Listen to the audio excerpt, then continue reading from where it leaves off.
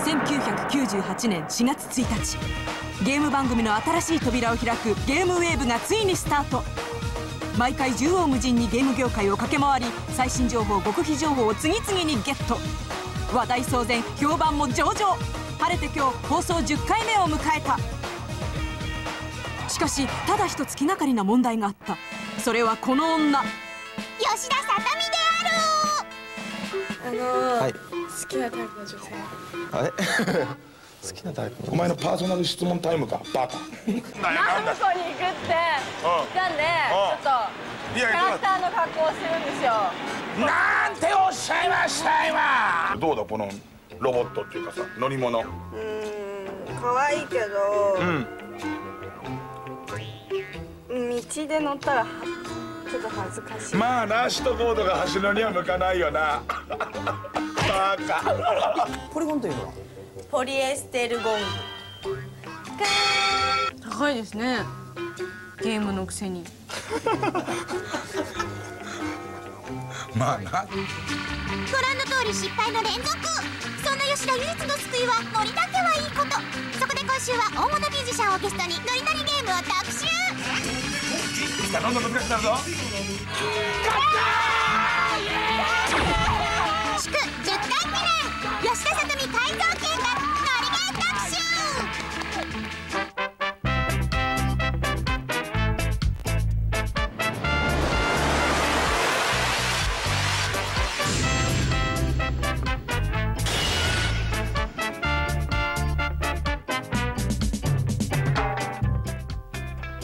この番組はセガエンタープライゼス。デジキューブ。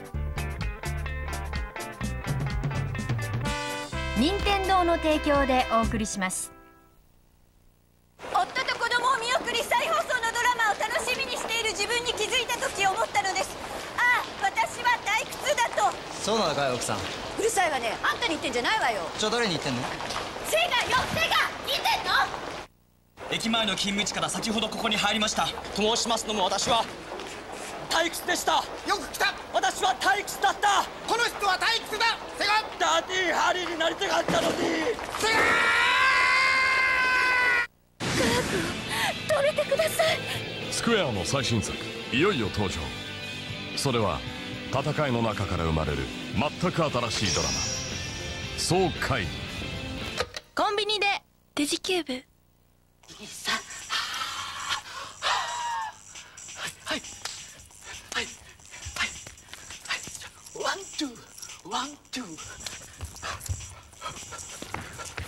デジキューブえグンてかここどこですかここはね音楽スタジオえ何の音楽スタジオなのなんて吉田を特訓するためにこの音楽スタジオを借りたんだよ特訓今日特訓してくれるのがすごい。よゲスト吉田を特訓してくれるアーティスト超有名アーティスト。超有名な誰に特訓してもらいたい？えーと。あんメアリー・ジェイ・ブライジ。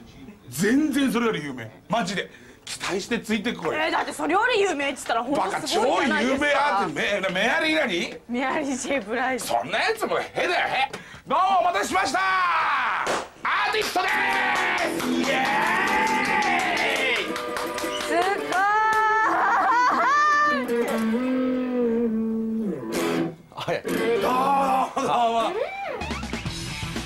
20年目の波動。スペースインベーダーから始まるまさに豪華尽くしのゲームトリビュートアルバムがこちら。演奏しているのは70年代から90年代を代表する日本のトップギタリスト14組。もちろんよっちゃんもここに参加しています。いやまあ今日はね、えー、たのきん全力投球風で 番組の方を、ね、全力投球最近としては見ませんけどね。あそうですね言われてみれば。マッチは見ますね。ええ結構連絡つかないんですよ田原君があそうですか。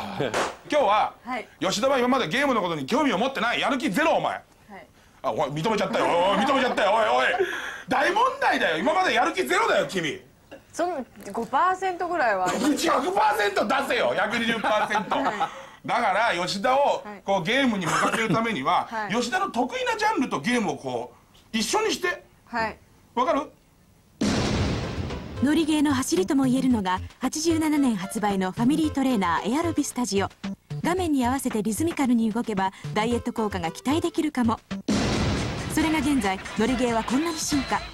揺れる体に火がつけば今夜も過激にレッツダンスバストアムーブはコントローラーをうまく操作して生かした踊りを披露するダンスゲーム。あの電気グルーヴがプロデュースしたのがグルーヴ地獄5バイトでもらったお金で音ネタをゲット。ミュージックエディタの音を増やして音楽を楽しもう。コントロールパッドの操作で演奏や作曲ができちゃう。テクノモーターはそんなソフト。1万以上の音色から選択は思いのまま。2人同時演奏も可能で複雑なセッションも楽しめる。DJ ウォーズは最高の選曲最高の DJ テクニックを身につけてクラブを次々に制覇していくゲーム。ねえねえところでミュージシャンってノリゲーやったらやっぱりうまいのかな？徹底検証。ミュージシャンは音楽ゲームが本当にうまいのか。野村さんのゲームってやるんですか？僕ね車のゲームとか、はい、レースみたいなやつとか、うん、そういうのとかあとねロールプレイングの戦わない系。ロールプレイングの戦わない系って戦わない系。あのーなんだっけ？最近はクロックタワーとか逃げるだけ。はあ、平和主義者でいらっしゃるんですね結構ね。向かってくると逃げる。音楽ゲームはあんまりやらない？やんないです。ほとんどやんないです。これ検証にはちょうどいいよな。今までそんな音楽ゲームやってないってことは、はい、今までのこの音楽の経験だけでゲームチャレンジしたらどれぐらいできるのか。はい。今回検証に使うのがクエスト4フェーム。エアロスミスのナンバーを画面の指示通り弾けるかどうかでギターの実力を判定バンド界におけるエアロスミスっていうのは、うん、日本の芸能界でいうと誰くらいの偉さなんですか？もう25周年過ぎましたからね、うん、そのまままあ五木ひろし。じゃあ偉いんじゃないですかかなり。偉いですね。なんだ？えじゃあ金持ちで金歯だらけのおばちゃんがこうお札のレイそれはだから五木さんのイメージでしょ。ああだから分かんないんだもんエアロスミスがどれだけすごいのかうんとねもうじゃあじゃあじゃあじゃあさじゃあエアロスミスは巨人の選手でいうと誰なの？あ野球わかんないんですよあじゃあもうもう全然接点がない、うん、もう全然わかんない、うん、あ早速検証スタート。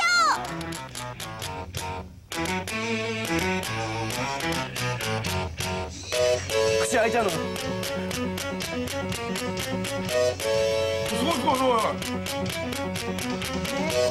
いうわなんかエアロスミスウィズよっちゃんだよ。おいおい。なんかすごいよ。ツレーションの中。そうツレーションもしたんだもん。すごいな。あ。今よっちゃん世界的になってるから。ケンナお子さんのバックでやってる時とまた違うよっちゃんやめろああ今ちょっと動揺して動揺してわでもすごいほぼ完璧だよ俺こんなん見たことないよ